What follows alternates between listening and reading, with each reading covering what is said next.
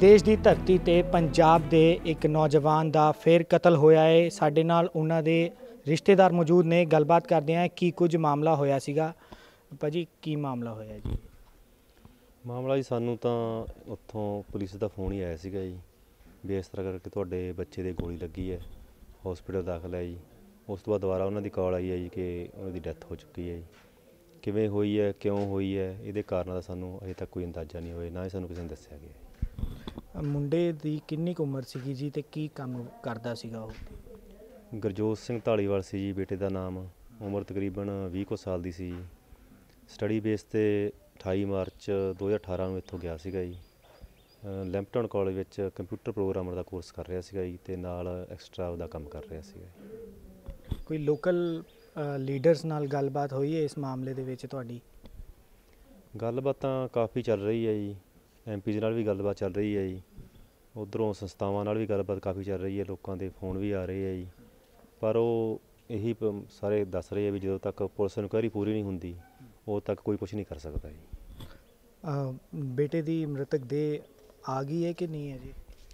ਨਹੀਂ ਜੀ ਅਜੇ ਤੱਕ ਉੱਥੇ ਕਹਿੰਦੇ ਵੀ ਪੁਲਿਸ ਦੀ ਵੈਰੀਫਿਕੇਸ਼ਨ ਪੂਰੀ ਨਹੀਂ ਹੋਈ ਤੇ ਮ੍ਰਿਤਕ ਦੇ ਲਿਆਉਣ ਲਈ ਅਸੀਂ ਅਪਰੋਚ ਕਰ ਰਹੇ ਹਾਂ ਵੀ ਸਾਡੇ ਬੇਟੇ ਦੀ ਮ੍ਰਿਤਕ ਦੇ ਇੱਥੇ ਜਿੰਨੀ ਜਲਦੀ ਹੋ ਸਕਦਾ ਵਾਪਸ ਲੈ ਕੇ ਅਸੀਂ ਉਹਨੂੰ ਅੰਤਮ ਰਸਮਾਂ ਕਰ ਸਕੀਏ ਜੀ।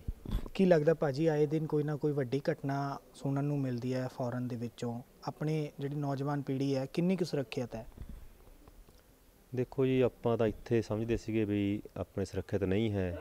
ਜਿਸ ਤਰ੍ਹਾਂ ਨਸ਼ਿਆਂ ਦਾ ਬੋਲਬਾਲਾ ਹੈ ਐਕਸੀਡੈਂਟ ਹੈ ਤੇ ਉੱਥੇ ਸੁਣਦੇ ਸੀ ਬਹੁਤ ਸੇਫ ਹੈ ਉਹ ਕੰਟਰੀ ਪਰ ਜੇ ਉੱਥੇ ਵੀ ਇਹ ਵਾਰਦਾਤਾਂ ਹੋਣ ਲੱਗ ਗਈਆਂ ਤਾਂ ਫਿਰ ਆਪਾਂ ਸਮਝ ਸਕਦੇ ਹਾਂ ਵੀ ਉੱਥੇ ਵੀ ਕੋਈ ਸੇਫਟੀ ਨਹੀਂ ਹੈ ਬੱਚਿਆਂ ਦੀ ਜੀ।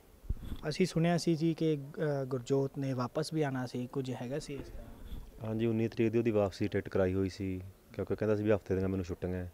ਮੈਂ ਇੱਕ ਹਫਤਾ ਪਿੰਡ ਲਾ ਕੇ ਜਾਣਾ ਹੈ ਤੇ ਆਪ ਸਾਰਿਆਂ ਨੂੰ ਮਿਲ ਕੇ ਜਾਣਾ ਹੈ ਜੀ। ਤੇ 18 ਤਰੀਕ ਨੂੰ ਇਹ ਵਾਰਦਾਤ ਹੋ ਜਾਂਦੀ ਹੈ ਜੀ। ਕੀ ਮੰਗ ਕਰਦੇ ਹੋ ਪ੍ਰਸ਼ਾਸਨ ਤੋਂ ਸਰਕਾਰਾਂ ਤੋਂ?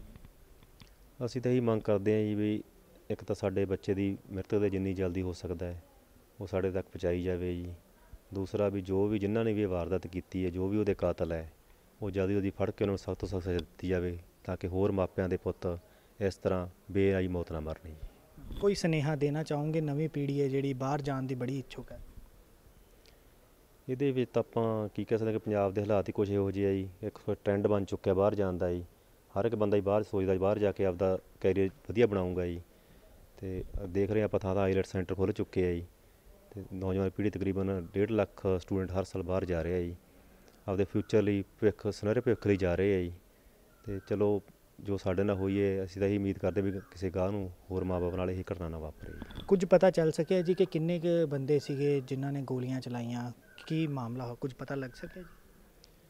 ਨਹੀਂ ਜੀ ਪੁਲਿਸ ਵੱਲੋਂ ਸਾਨੂੰ ਕੁਝ ਨਹੀਂ ਦੱਸਿਆ ਗਿਆ ਪਰ ਉੱਥੋਂ ਜੋ ਕੁਝ ਲੋਕਾਂ ਦੇ ਸਾਨੂੰ ਫੋਨ ਕਾਲਸ ਆ ਰਹੀਆਂ ਉਹ ਅਲੱਗ-ਅਲੱਗ ਘਟਨਾਵਾਂ ਦੱਸ ਰਹੇ ਆ ਕੋਈ ਕਹਿ ਰਿਹਾ ਕਿ ਮਾਲ ਦੇ ਵਿੱਚ ਘਟਨਾ ਵਾਪਰੀ ਹੈ ਕੋਈ ਕਹਿ ਰਿਹਾ ਉੱਥੇ ਅਪਾਰਟਮੈਂਟਸ ਬਣੇ ਹੋਏ ਉਹਨਾਂ ਵਿੱਚ ਘਟਨਾ ਵਾਪਰੀ ਹੈ ਕੋਈ ਕਹਿ ਰਿਹਾ ਕਿ ਇਹ ਰੋਡ ਦੇ ਉੱਪਰ ਘਟਨਾ ਵਾਪਰੀ ਹੈ। ਮਤਲਬ ਗੱਲ ਕੁਝ ਵੀ ਕਲੀਅਰ ਨਹੀਂ ਹੋ ਰਹੀ ਕਿ ਘਟਨਾ ਵਾਪਰੀ, ਕਿਸ ਤਰ੍ਹਾਂ ਤੇ ਕਿਉਂ ਵਾਪਰੀ ਹੈ ਤਾਂ ਇਹ ਸੀ ਪਰਿਵਾਰ ਵਾਲੇ ਹੁਣ ਇਹੀ ਮੰਗ ਕਰ ਰਹੇ ਨੇ ਕਿ ਜੋ ਇਹਨਾਂ ਦਾ ਬੇਟਾ ਸੀ ਉਸ ਦੀ ਮ੍ਰਿਤਕ ਦੇ ਜਲਦ ਤੋਂ ਜਲਦ ਭਾਰਤ ਲਿਆਂਦੀ ਜਾਵੇ ਅਤੇ ਜਿਨ੍ਹਾਂ ਨੇ ਇਹ ਕੰਮ ਕੀਤਾ, ਉਹਨਾਂ ਤੇ ਸਖਤ ਤੋਂ ਸਖਤ ਕਦਮ ਜਿਹੜਾ ਕਾਰਵਾਈ ਕੀਤੀ ਜਾਵੇ। ਕੈਮਰਾਮੈਨ ਹੈਪੀ ਦੇ ਨਾਲ ਜੁਗਨੂ ਸ਼ਰਮਾ, ਦੈਨਿਕ ਸਵੇਰਾ ਟੀਵੀ, ਪਿੰਡ ਥੰਮਣ, ਬਠਿੰਡਾ।